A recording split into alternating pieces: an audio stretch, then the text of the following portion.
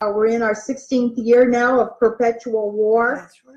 And I think that for me is the number one issue uh, because you see all the blowback now increasing and you see uh, all of these costs that uh, most people think are invisible because the only people that are being killed and becoming refugees and becoming, you know, having to flee for their lives uh, are foreigners. We did have one soldier killed in Afghanistan today, but there, that's really it's it's when you do the math, it comes out to 0.00 percent, something like that, of all of the deaths are American, and it's it's kind of sad to see that so few Americans now really uh, seem to care about the wars, uh, thinking, of course, thinking that the only casualties are are foreigners.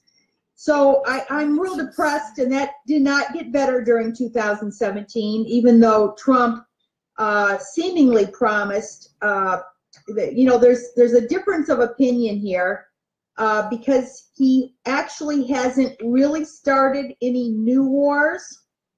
Um, and he's trying to start uh, a new war on Iran uh, and he's threatened to to absolutely you know annihilate North Korea but he hasn't done that yet when he was campaigning he promised or at least indicated that he thought the Iraq war was a mistake. And, and actually, he criticized Hillary Clinton for having launched the bombing of Libya. And so there was some hope that he would actually change things.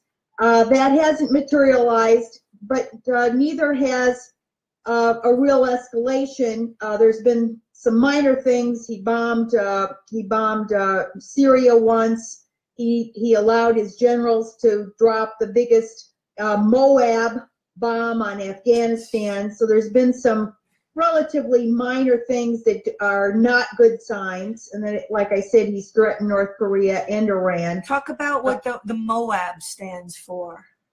Ah, you know what? the the acronym. I know the uh, the vulgar uh, name of it, which is Mother of All Bombs or something like that.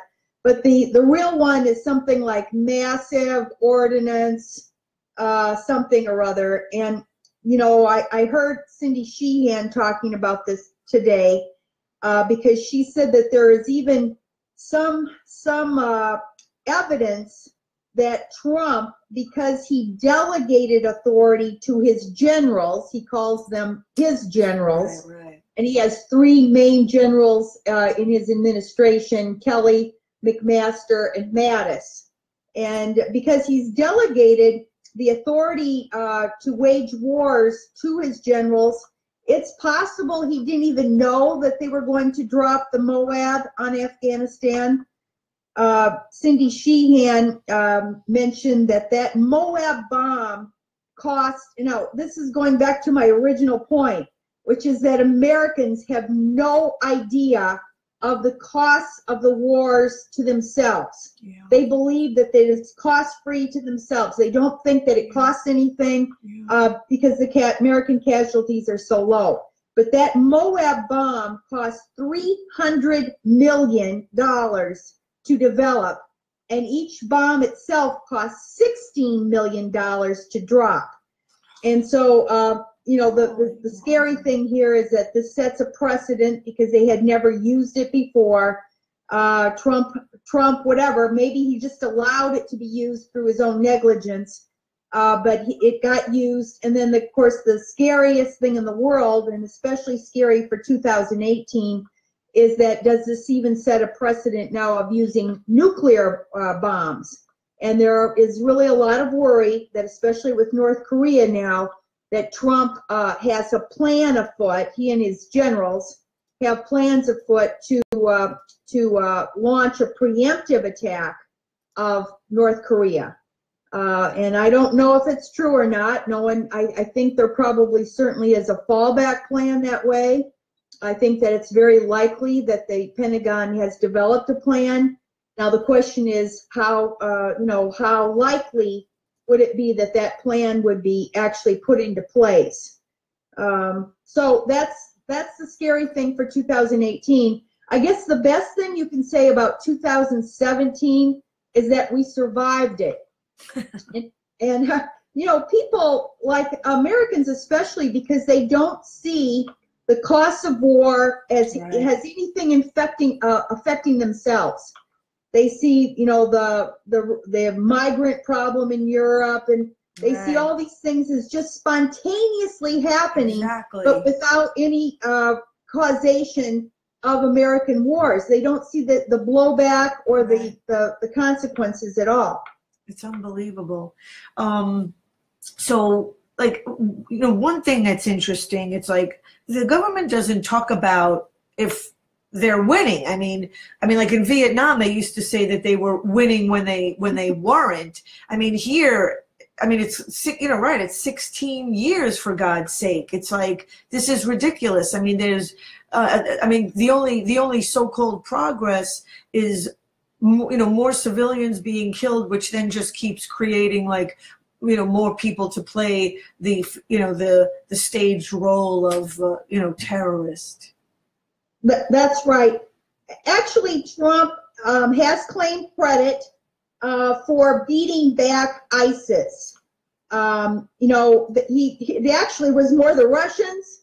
If anything, it was maybe the Syria government and the Russians and Hezbollah and and whatever that actually beat back ISIS. The the U.S. had very little to do with it, but Trump has actually claimed credit for what you would call winning uh, that battle against ISIS. Now, a lot of the more mature, sober analysts say, uh, well, that's temporary. ISIS truly isn't even beaten. In fact, by the way, that, that American casualty in Afghanistan today that I just heard on the news, uh, they said it was it was ISIS that killed that American soldier and, and, and shot another three or so. So you know you, you can't really say that that is that even that battle with ISIS is even won. But I have heard Trump claim credit for that. Um, you don't, you know, what we saw with both Bush and Obama administrations is they were more careful uh, than per- perhaps what was occurring in Vietnam. Because in Vietnam, uh, Westmoreland and the other generals were saying we're killing so many. The uh, enemy count, they called it the uh, the cat the what was it called the war of numbers, where they were counting how many uh, Viet Cong were killed, and then they would say, "Well, we're winning the war because we killed this many." But they never mentioned how many there were and how many new people were joining. They never got into that part of the equation. They just counted the, the number killed and said, "We're winning." Well, I think our generals learned a lesson from Vietnam and what they have done now, and you saw this again with the Bush administration and the Obama administration, is they would always project. They would not say we've won any of the wars, but they would project victory just around the corner. And so they would, you know, and especially for Bush, this was very helpful for him because, of course, there was a lot of criticism with the Iraq War that the U.S. was losing. And he would say, well, if we just surge, then we'll win, you know. And so they would always put this winning to be next year or, Yeah. or down the road. yeah And so after after 16 years, this has gotten real stale. Constantly projecting that you know next year we'll we'll turn the corner. But but unfortunately, you go back to the American people, and I think at this point, the meet the mainstream media, uh, you know, who are the culprits here in deluding Americans and in manipulating American public opinion?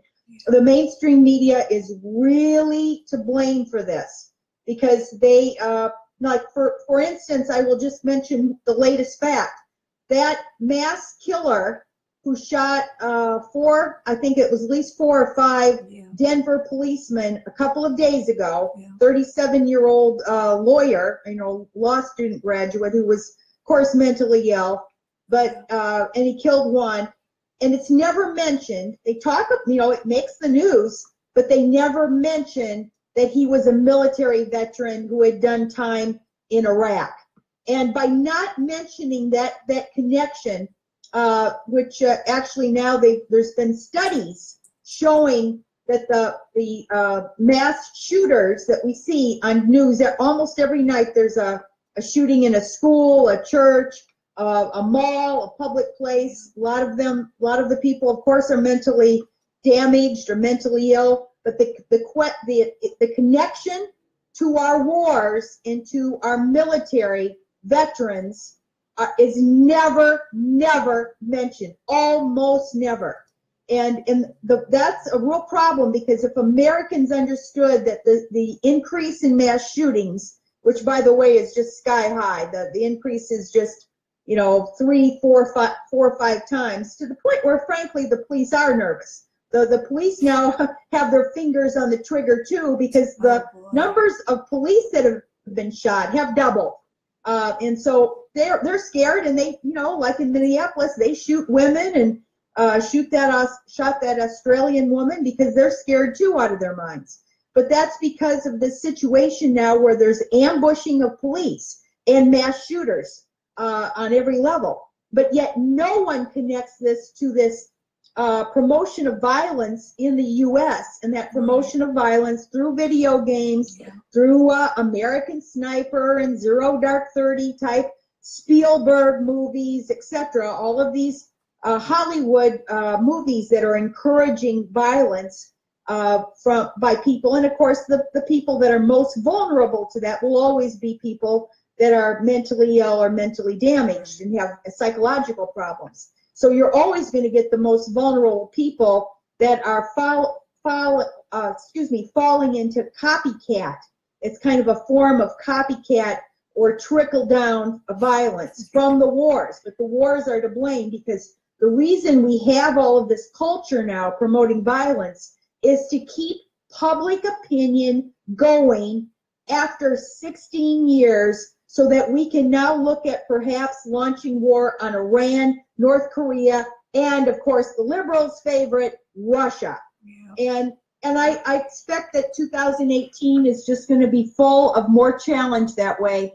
Uh, that we uh, and, I would hope, you know, let's just hope Americans can finally wise up and realize that all of this uh, mainstream cultural manipulation of public opinion in order to sustain and even increase wars around the world is not in their interests. Right. You know, th- this is the problem. Americans think, you know, look at the liberals with Russia. I'm sorry I'm on a rant here, but I just No, please, uh, just you know, continue. well, I'm I'm kind of you know I'm because the the latest thing that we've been had to endure now for months and months is this Russia gate. Yeah. Uh, you know, basically ginning up the hatred of Russia and Russians, and of course Putin. We always we always go after the leader as the devil, and just as Gaddafi and, uh, and Right. Saddam and and uh, all of the other leaders that we sought regime change and war on, we, we demonized the, the leader. And and by the way, I'm called on online on Facebook. You probably have seen some of these posts. Even though I was an FBI agent for 24 years, and uh, you know I've got a lot of family that served in the military. I'm as patriotic as as apple pie, and yet um, I'm called whenever I post any type of criticism of these um, this propaganda that demonizes foreign leaders. It, it always is it's a standard modus operandi that the war hawks have of demonizing uh, you know Saddam and the Taliban's leader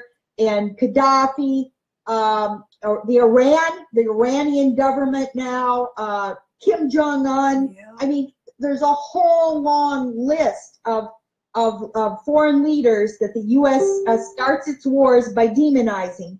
And anytime I post any criticism of that, any critical thought, I am called a Putin apologist. Or, uh, in fact, a, a lady on Facebook just said, "Looks like you're really making a lot of money from being a a Putin." Uh, she called me some name like a Putin, uh, whatever. So people, and this was these are the liberals, by the way, that are doing this.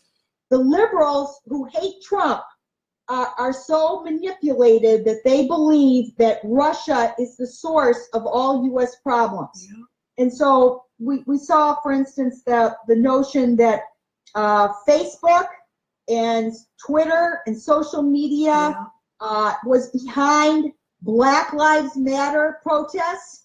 Uh, they're manipulating the, the, the Black Lives Matter. You're seeing this on so many levels, and it's it's absolutely crazy to believe that anyone could go on Facebook or Twitter and manipulate, you know, uh, other other movements inside the United States. Anything that's critical, anything that's critical, and I'm I'm critical of the wars. So because I'm critical of U.S. wars, I'm now seen as in bed with all of these foreign leaders. And and I'll just go back. Saddam, I couldn't, you know, who I would not even cross the streets to, to even talk to any of these foreign leaders. You're I, like you're like Jill Stein now, Coleen. Exactly. She's she's somewhat in the same boat. It's not that you like or or love foreign leaders. I just don't think the United States has a right to demonize and then take them out uh, and start wars of aggression and incite, by the way, incite uh, uh, assassins inside other countries in order to do these things. Even if you go back to Fidel Castro, mm-hmm. what right did the CIA have to start to uh, do all these assassination attempts through uh, through Fidel, uh, excuse me, through Cuban expats and Bay of Pigs yeah, and all this? I don't think. I think that we should abide by a modicum of uh, international law. And we should come up with some some we did have by the way it's it's not like we need to come up with them. There were international standards for civil behavior between countries.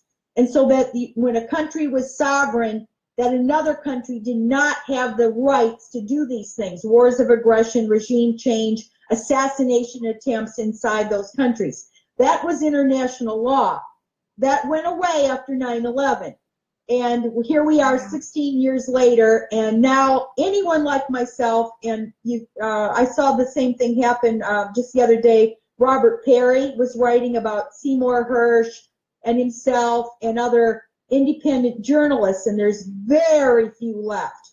Uh, stephen cohen the, the russian uh, history professor there's very, very few independent thinkers, uh, journalists left in the United States, and they are being demonized uh, as if they now are somehow treasonous. And uh, there was a there's been articles in the Washington Post.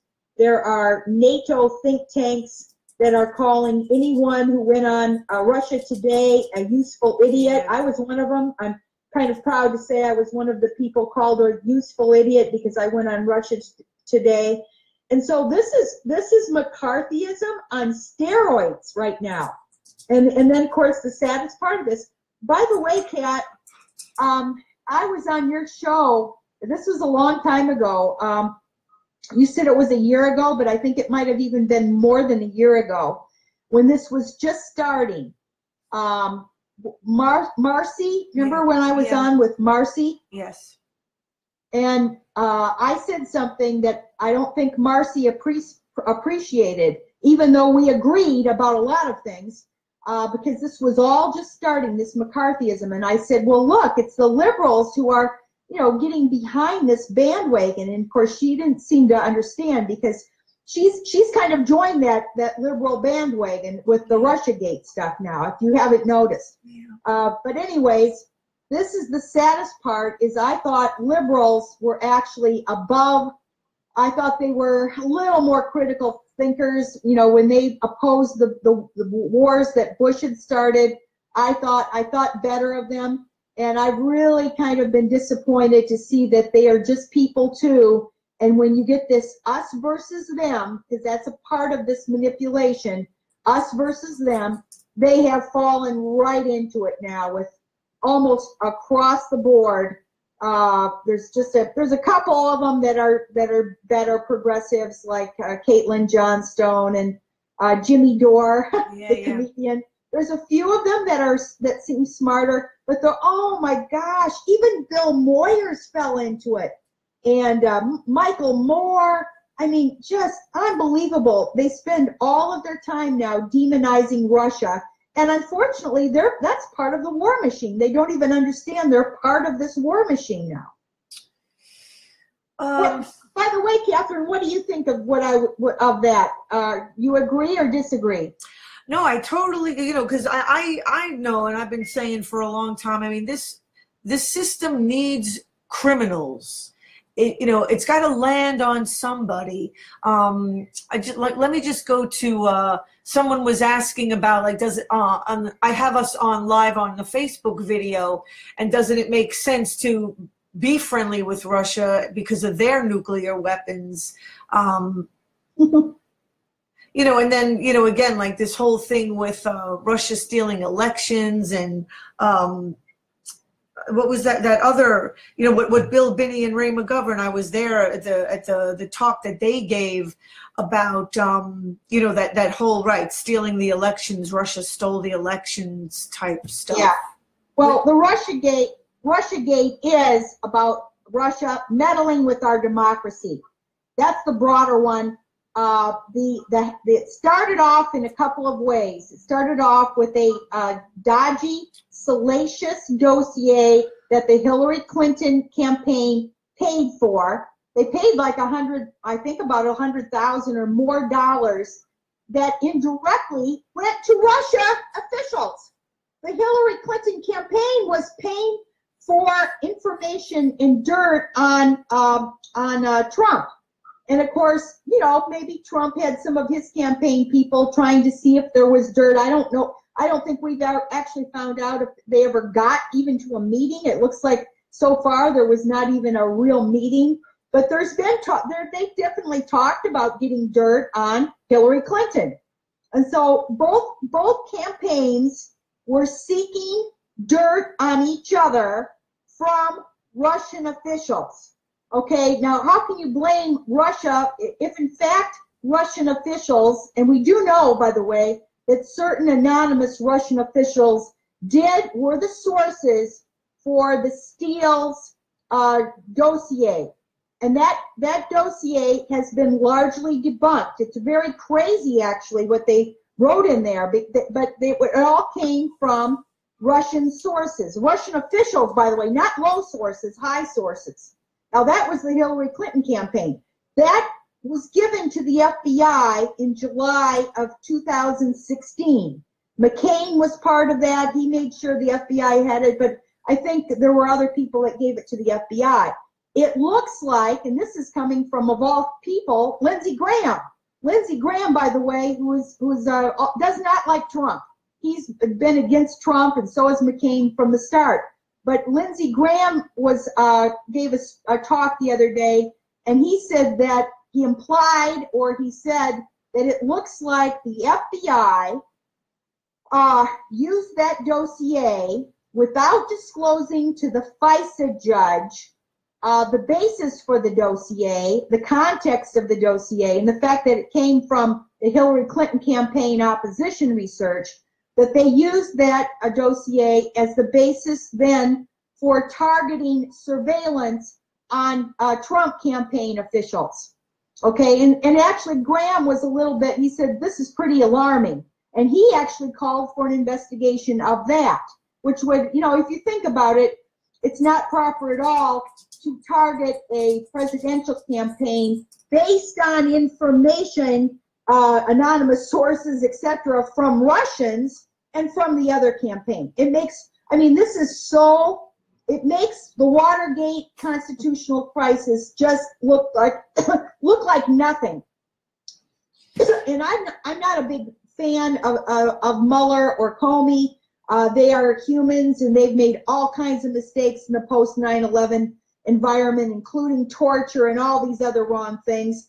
But I will say, I will play devil's advocate for just for a second and say can you imagine being in the FBI and now having both presidential candidates under investigation in the short months before the election? That's unprecedented in and of itself. I mean, Americans are so enamored of their of their political uh, leaders, and yet in this case, both presidential candidates, both Hillary Clinton and Trump, uh, at least indirectly Trump, were both under investigation uh, by the FBI in just a, a, couple of months before the election. Now, I have you have to sympathize. What is the poor FBI put in that situation? they're trying not to play favorites or they're trying to play favorites. That part I, I don't think we really know, but it, it is known that both campaigns were under investigation by the FBI in the lead up to this election. And that is pretty alarming for all Americans who care about our democracy and our country. That alone should be of the number one importance. And yet I never hear mainstream news even mention that fact. They, they, they tend to scapegoat one, one side or the other, depending on if it's Fox or, or if it's uh, CNN, but they never mention that the FBI was investigating both campaigns. So let me ask you then, um, because you had posted, this is where I saw it. Um, you know, Facebook is censoring uh, Palestinians on Israel government command. Like, you know, uh, Facebook is deleting people off of Facebook if it doesn't like um, what they say. And the Intercept um, did a report. Um, are, are you are you like seeking to get um like petitions signed for that or? Yeah, there's a petition. Yeah. Um, well, Glenn Greenwald wrote a great article about it, which I think uh, I totally agree with and he, he, he's coming from the standpoint of if Facebook and Twitter are are allowing censorship, uh, there's no, it's not transparent what their rules are for that right now. And by starting that precedent, it's a very uh, slippery slope. Now that's what, I, and I agree with Glenn Greenwald on that. It is a slippery slope. And if we are going to have some line drawing, you know, we can think about it it's possible that social media ought to have some lines. They should not have people certainly calling for bombing. There's, they should not have people making uh, threats of violence against others, uh, child pornography. There should be lines on social media. But the problem right now is we don't know what any of their rules are for censoring.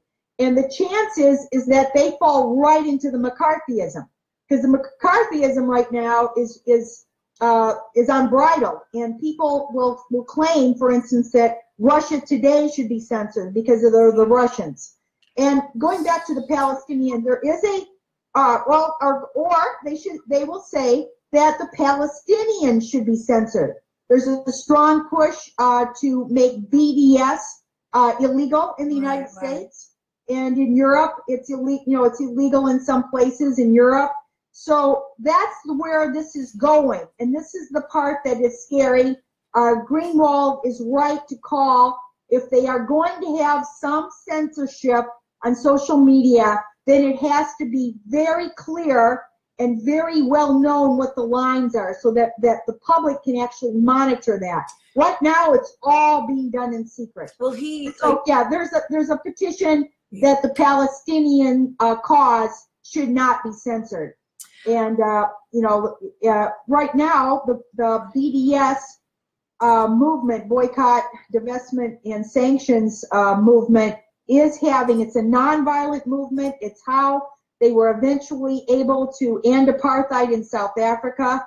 And, uh, you know, Israelis uh, the, is not all Israelis that feel this way, but the majority of pro-Israel people feel that BDS is becoming uh, too successful. Right, right. And that, and in fact, uh, somebody gave a speech and said, "We're looking at our quote unquote South Africa moment." They are afraid yeah. that they will have to end their apartheid system yeah. in Israel, just as South Africa had to end apartheid. So that's, you know, it's something that most Americans, frankly, probably don't care about because it seems like it's Again, it's happening in a foreign country. The ones who really care about it are the uh, pro-Israel group, the, the American Israeli Public Affairs Committee. There's about a hundred or more of these uh, pro-Israel groups, and they're extremely powerful, and they overlap with the neocon war hawks, uh, greatly overlap with the neocon war hawks. And they are the ones really pulling the strings in Washington, D.C., because they, they give millions and even billions of dollars to political campaigns. And they they uh, they own these congresspersons, and uh, and probably to some extent they Adelson gave quite a lot of money to Trump, and I think he's calling in his chips uh, when Trump uh, calls for Jerusalem to be our, you know, we recognize Jerusalem as the capital. We want war on Iran. That's all, uh, you know, the pro-Israel contingent uh, control of Trump. I actually had a um, one of my YouTube videos got um, like some strikes. It got res- restricted in a bunch of countries. Um, you know, like they they said it, it had hate speech. It was actually um, like a talk given, you know, by Christopher Berlin. You know, who's pretty good with his facts and his evidence. And so, I mean, I responded. Um, you know, I mean, like like they they actually claim that there were complaints from people I mean, which I'm sure that there were. Um, but I saw, you know, I was asking, well, like, where exactly is the hate speech? I mean, they never answer that. They don't, I mean, you know, if, if they can't say exactly, you know, in the video with facts and evidence, like, where is the hate speech? I mean, if you're just citing facts and you're, you know, you're too smart and they just don't like what you're saying and they're just using and then just, you know, shutting you down or restricting you based on that, which is, uh, you know, what, what again, um, Glenn Greenwald said um, today on Democracy Now that it's it's it's right. It, it's the you know the, the, the bullies. It's just it's it's bullying, and it's the vulnerable people, the ones who need and and have the right to stand up for themselves, are the ones being silenced and criminalized. You know, for you know it's it's all emotional like it's it's it's based like like really like on on like nothing factual all of this um well, hate speech is itself extremely fuzzy. It's a fuzzy, fuzzy term. And even a hate crime, uh, you can argue that if someone murders somebody, uh, what difference does it make that he hated the person uh, that he murdered or whether he did it because he was trying to rob the person or because he, uh, you know, all different reasons. You can say, well, what difference does it really ma- matter if it's a uh, hate crime has, has actually been criticized for that reason. Now, going back to Martin Luther King, you can hate a uh, you can hate war, for instance. You can hate prejudice. You can hate uh, you can hate hate. So you can hate uh, things that are inanimate. Hating people who fall victim to these things or who are you know, manipulated or or in foreign countries or something, that's a different story. And if you if you uh, uh, you know call for violence, I think the real line should be calling for violence. If you call for violence against any person or any group of people, that should uh, of course be uh, noted immediately by people. Will will probably uh, click and say, you know, this is this is not good. And then the Facebook judges, the people who have to judge this, should probably uh, be very careful, and they should they should set forth their criteria, what they're using in order to say something should be, you know, censored or uh, because as soon as you start down this road, it can expand quickly and rapidly, and then we're we're into very controlled uh, speech which I think is is you know the governments want to control the speech. Yeah. China doesn't even allow you know Huffington Post and social media. A lot of countries want to control speech. United States is not different. That's why we're probably looking at the ending of internet freedom, etc., because they, there is a, a desire to control speech. There's a there's a reason in a narrow way for controlling some some uh, bad aspects of free speech but it has to be very, very uh, carefully done. Um, and just the fact that uh, it's, I mean, it's Israel and the United States that are calling for it. So, um, you know, and it, you know, Israel has like all this power, and it's, I, I mean, they they shouldn't have the ability to just right decide like who should be silenced you know of course because right. what they're doing is like they are literally what they're doing is a war crime what they've been doing for yeah. years is a is a war crime and you know and, yeah. and, i mean like and they're going to be the ones calling the people that are standing up and speaking the truth uh, the, the ones that are saying hate speech. I mean, it's it's like outrageous. The scale, like well, that's what worries me is like the scale is so tipped, and people are so used to it being so tipped. that um you know that is like then their perspective like the perspective gets like so skewed and becomes normalized you, you know because people get Yeah. used to the the Well, the, the, the best example is the boycott, divestment, and sanctions is called hate speech by the pro-Israel camp. yeah well they're not It's not violent, and basically all Yeah. it's doing is saying we need to end this apartheid system, and they are saying that that cannot be heard. So, for instance, if I go on Facebook uh, to, let's say somebody's going to give a concert, some, uh, you know, some uh, very popular singer is going to Israel to give a concert, and I uh, email, or excuse me, if I write on Facebook, so and so should not give a concert in Israel because of is you know to as part of the boycotting of Israel. They should there should be a cultural boycott.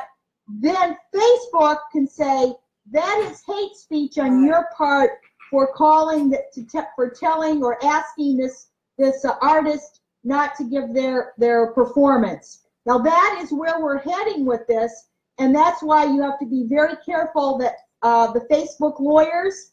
I think that we should have we should have an outcry of people that are really insisting, basically supporting Facebook to some extent. Facebook and, and Twitter lawyers did not want to go this far. They did not want to go into being arbitra- you know, arbitrate, arbitrating uh, different viewpoints, etc. They didn't want to do this. And uh, it's our Congress who was pushing Facebook and Twitter to do this. Why? Because our Congress really, really is bought and paid for by these big AIPAC groups. Millions of dollars of campaign contributions, by the way, to Democrats as much as to Republicans. And- And and that's the real problem here. Uh, that's by the way, there in Israel, a lot of the wars in the Mid East have not been in United States' interest. They have been in Israel's interest. Exactly. Well, that's what Christopher Berlin says. That was the title of my video. It was Israel's policy, not U.S. policy. That was the title of it. Um, but anyway, um, I was going to say, what, what, like what you kind of reminded me of when I was listening to you is when people um, like talk about you know, oh, you know, the NSA surveillance, because oh, you know, over the last um, few weeks in December, um, you know, I interviewed, uh, right, Diane Roark, um, Ed Loomis from A Good American, and you know, uh, uh, Americans who have that attitude will, you know, like let them spy. I'm not doing anything wrong. So by by saying that and adopting that attitude, like they're literally doing like what you were just talking about and and having their world like already shrinking and um you, you know it's like you know and and not even realizing that what they do can be deemed you know like criminal or hate speech or you know so to think you know because right if they could if they could call hate speech you know people that are speaking truth and standing up for what's right then people that have this attitude it's like oh let them spy. I'm not doing anything wrong. It's like so like you're inviting that same sort of um thing like on yourself like you know, that, you know exactly like your world is shrinking like you know that i don't understand sometimes the attitude of um people when they when they Well, say that It's, it's the same thing that happened in the 50s. Uh, we get self censorship. We get everyone even afraid to, to open their mouth. Certainly on the hot button topics like Israel and Russia, um, anything involving U.S. foreign policy, Americans are almost afraid to even utter a word about it. That, and by the way, that's if they have an opinion. Most of them, uh, their opinion is simply that, you know, what the, the mainstream news tells them, uh, that we have to fight our enemies, you know, and whoever the government tells us is the new enemy of the day. Those, you know, Exactly. uh, but the ones, you know, people like myself who actually uh, delve into it a little deeper and realize that this uh, is, you know, like you say, we're not winning any of these foreign wars. All they're doing is creating more terrorism and more danger, by the way, now, because we're looking at superpowers. We've kind of exhausted, and this is where every year after these 16 years, we're going into uh, more and more years of war. it becomes more and more dangerous for a lot of reasons. One is the terrorism has increased all over, uh, so we are getting a lot of blowback that way. But the other reason is because we've already taken out the easy third world countries like Libya and Syria and Iran, um, excuse me, not Iran, uh, but uh, Iraq and Afghanistan. Those countries did not have military and they certainly did not have nuclear weapons. Right now, we've gone through those and we are looking at countries like Iran and well, North Korea does have nuclear weapons, but even Iran has allies that have nuclear weapons. And with this with this uh, Cold War with Russia is even worse because we are our two countries uh, can destroy each other really in, in just a, a, couple of hours, and not only destroy each other but the entire world. And if you look back at thinking that the uh, the thousands of nuclear bombs on hair trigger alert is keeping us safe. And now we have this Cold War ramping up of, of even hot war in the Baltics and Ukraine. Another bad thing that Trump has done is he's arming the Ukrainians with lethal weapons to fight the Russians.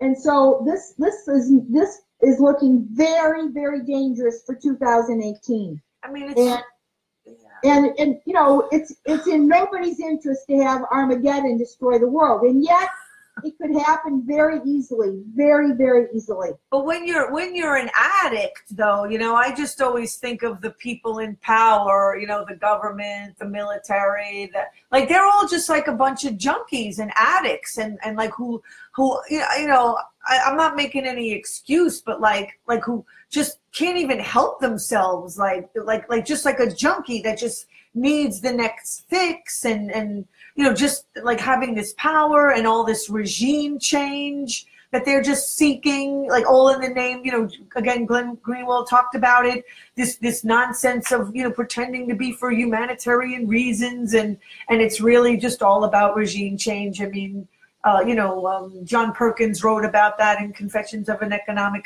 Hitman that he wrote in 2004. Um, so it's well, I, I'll I'll have to take off here, but I'll just close with one more thing, which is that that that old movie, Doctor Strangelove, that shows how crazy and insane some of these people are. Yeah. If yeah. you look in the real world example of someone like Curtis LeMay, who firebombed and was responsible for the deaths of millions of people and uh, actually wanted to uh, bomb Cuba.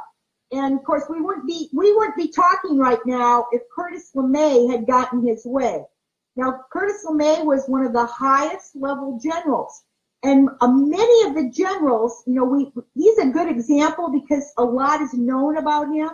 But a lot of the other generals, if you know their their memoirs and their secret writings, etc., um, Daniel Ellsberg has come out yeah. with a book called The Doomsday Machine. And the thinking, like you just said, you called it an addict, but the thinking of some of these top nuclear war planners is absolutely insane. A normal person would look at this and say, what are you doing? You're absolutely out of your mind. Like, like somebody, these were all people like Curtis LeMay. And, uh, you know, you say, well, they care about their own children. I'm not so sure. They aren't even able to consider and think. They just get so caught up in this, uh, this. And by the way, once you've got the blood of so many people on you already, life life and death really change dramatically. Exactly. And like so, these people live in a completely different stratosphere. That's that's right. And and unfortunately, Americans don't pay much attention to their generals. They you know, you look at our football games, it's nothing but revering the American military as if they're they're gods and they're icons. Uh, you know, yeah. and you don't understand that these are human beings. If you look at uh, like Petraeus, for instance, and just see the human nature part of these generals. Well, they they all have their foibles. In many cases, it was sex harassment, the tail uh, tail hook stuff, and you see these generals. Uh, there's all kinds of sordid, sordid stories about these the, the moral failings of these people. And yet, when we go to the football game, they roll out the, the, uh, the, uh, praise the military and the troops, and everybody has a tear running down their eye. It's, it's basically emotional manipulation of the American public. We, there are a lot, you know, you know, I'm the first one to say there's a lot, there are a lot of good people in government. There are a lot of good people in the military. And there have been military folks that have actually stopped some of these things from time to time. But on the other hand, it does require oversight because right now we are on a very precarious level uh, involving, this is looking like World War. And, Yeah. you know, 2018, if, if we're lucky to be alive right now, I think for a lot of reasons because of all of these near misses and accidents. Read Ellsberg's book and you'll understand. Yeah. Um, but but we will really be if we can talk again next year at this time, and we've made it through another year. I, I don't know that we actually, if I had to guess right now as an analyst, I'd say we only have maybe uh, 30% chance of talking like this again next year. Uh, because I think that we are looking at a very dangerous moment in time. Maybe And we shouldn't wait that long. like that, you know, like right, like you know. I mean, you know, I'm I'm up for talking as as as much because you have a lot to say, Coleen, and if you have this much to say, I mean, you know, if you need a place to say it, believe me, you know, contact me anytime. Um, if I could, someone's asking the question about, um, do you know Robert Steele? You know, the ex CIA guy. Are you aware of him and and and his suggestions for bringing down the deep state? Um, you know, I've watched some of his YouTubes and I have exchanged some emails with him. Um, I I don't I can't vouch for everything he says. Um, He likes About- Trump a lot, that guy. He gives him more credit than I would. yeah, I'm not. Yeah, I I don't give Trump the only credit. By the way, I think Trump does deserve a minimum of credit for pulling off a surprise win. You know, and I, I don't think the Russians did that at all. It, Russians had nothing to do with that. The Electoral College had a lot to do with it. And Hillary Clinton being such a bad candidate, war hawk candidate, had a lot to do with it. Um, and uh, the fact that, that uh, uh, Trump was able to connect with uh, the poor, uh, working class, you know, kind of white working class America, the you know in the middle America, the, the poor farmers, etc. I think that he did have a better connection, and Hillary Clinton just seemed above it all. She was kind of a, one of these intelligentsia elites. So I think that I can give credit to Trump for pulling off a surprise election, and his campaign uh, promises about you know criticizing Hillary Clinton's wars, etc. I thought were good. Now after that, I don't know much. That I think he's done a lot of bad things since he's gotten into power, including uh, naming Jerusalem as the Yeah. capital of, of Israel, including arming the Ukrainians to fight the Russians. You know, there, so I, I think there's a lot of uh, escalating in Afghanistan. I mean, I, I think he's done a lot of bad things that have not necessarily been good. And I think we really have to cross our fingers that there uh, is an adult somewhere in his administration, an adult or two, Yeah. that will deter him from the most ludicrous of ideas. Uh, for instance, bombing, uh, bombing uh, uh, North Korea uh, as a, a war of choice to start that, a preemptive war. Uh, Steele, I again, when I've seen him on videos, I do agree largely with his uh, a lot of his assessments about the CIA and how they operate. By the way, Robert Steele is no different than uh, who was the first one? Stock Stockman, I think. You know, the first whistleblower. There's been a whole series of whistleblowers about the CIA. Well, Some of them have had to move, had to leave the country, and Yeah. etc. But there, uh, Stockman was one, and he, you know, basically told the truth about how the CIA would go in to, to places in Africa and try to incite uh, various groups to overturn their government, and then the CIA would betray those groups that did, uh, you know, if they were losing, they, they would betray them, and etc. So there's been a whole series of how this how the CIA operates in these covert actions. And I think Steele, you know, I give him credit for speaking out about that, and I, I can't say I agree. I think he does. Um, he had, I'll just say where I don't agree with him. I think he talked about some of the terrorist attacks in the United States, like the Boston bombing, 9/11, uh, one other, the the Florida one. And anytime you get into trying to make up make it up like a little more of a conspiracy that the government uh, was directly was directly doing 9/11, the Boston bombing, the Orlando shootings. I think that goes too that that goes too far.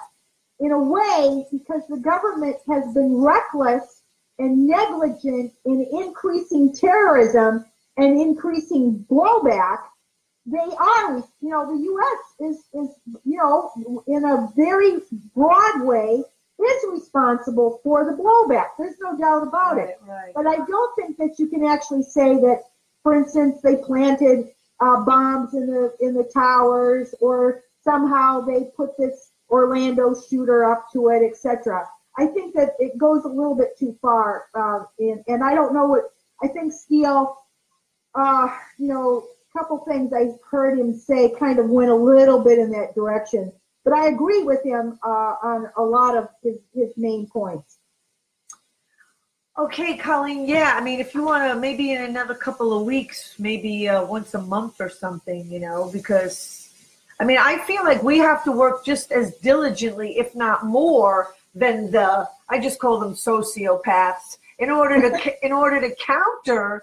Um, you know, it, like I won't I won't mention who it was, but I emailed somebody, you know, to see if they wanted to be interviewed about something, and I um, this was last week, um, you know, my, my show last Tuesday, which was the day after Christmas Day. And I, you know, I sent the email on Christmas Eve and the, the person kind of got like a little bit offended because I was emailing them on Christmas Eve. And, you know, and I, and I felt kind of bad, but then I said, well, I mean, that's when the, the sociopaths do their best business. I mean, that's when they, that's when they, um, you know, sign like, you know, Jekyll Island and all that stuff. They all got together on Jekyll Island was like during the Christmas holidays when everybody's like, you know, with their families, they're over there like, you know, raping your freaking wallet. so, um, you know, that was kind of what I answered back to her. I mean, um, I don't, you know, I'll wait and see if I ever hear from her again. But anyway, um, thank you, Coleen Rowley, uh, former Yes. FBI, and um, keep up the good work and keep trying to get uh, good people on the show because it, it all helps. thank you, Coleen. Okay. Peace Good out. night. Okay, good night. Okay, that was Coleen Rowley. Um, yeah, look her up. Um, she's been pretty outspoken for a while now. And um, so again, my YouTube channel is April and Watters with double T, where the podcast for tonight will get posted. Um, I kind of wanted, I didn't really get to talk to Coleen about um, the Gray State documentary, which I, I, I wrote to her on Facebook about it and I sent her the link and the story because David Crowley actually lives in her hometown or did live in her hometown.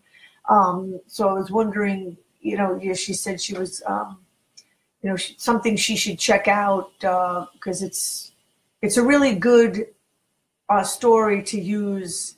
Um, you know, if, if you're not into perpetual war, so um, that does it for this um, first show of 2018. Today, January the 22nd, People's Internet Radio, Catherine April Watters. Please support me on YouTube. Again, April the Watters with two T's on YouTube. Share, subscribe. Support is greatly needed. Thank you. Speak truth to power. Put fitness first, not the paycheck. It- it- it's scary, but you got to do it. Good night.